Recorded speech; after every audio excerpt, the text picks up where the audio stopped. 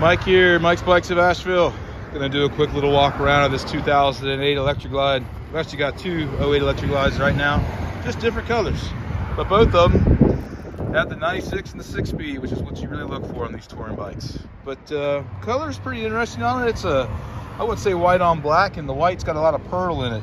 So I forget what they call that. Cosmic pearl or something. It reflects kind of blue. And then there's a little bit in this. I guess that's a dark blue. I don't know. Um, I'm, I'm, a little colorblind, so some of these colors get on the other regions of what I can describe. But all in all, pretty decent bike. About the only blemish on it is this little guy right here. It's got a little knock. Looks like maybe some of these keys hit it or something. Not too bad. So we'll walk around here and I'll crank it up in a second.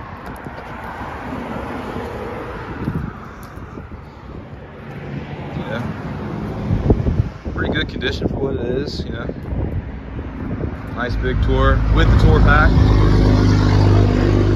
A lot of guys buy these to make them look like street glides so that you won't have the tour pack, but you do here. And if you're looking to make it a street glide, well, you can just take the uh, take the tour pack off and lower it some.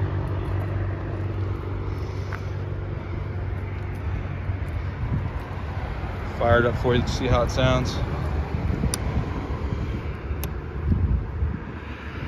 See, I forget the radio on this one. Yeah. I'm the worst for these radios. I think this one might be an operative, but uh, there we go. Let's get her, get her cranked up.